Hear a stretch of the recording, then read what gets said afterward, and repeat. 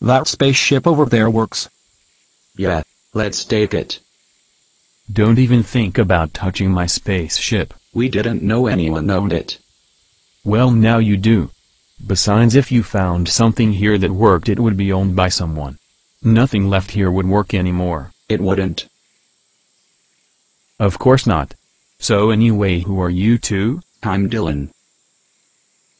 And I'm Mr. Steven. Nice to meet you Dylan and Mr. Steven. So why are you guys here on planet Earth? We live here. What are you talking about?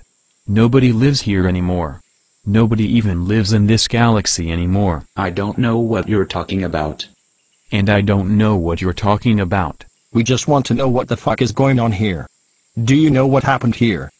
Well, I'll tell you what I know about Earth. Earth was once a beautiful planet owned by humans like you guys and me. It was lived on by humans for thousands of years, but that all changed in the year of 2015 when a huge storm wiped out almost all of the people on Earth.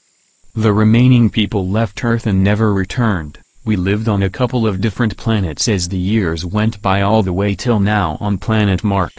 A man named Mark chose this planet a couple of hundred years ago and named it, after him.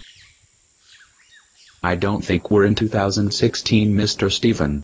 2016? Not even close. That was thousands of years ago.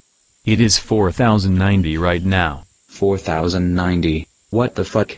Can you tell me your story?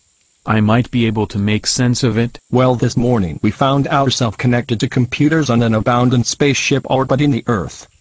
I think I know the one. That hasn't been used in 500 years. But it sounds like you've been wired to a computer since 2015.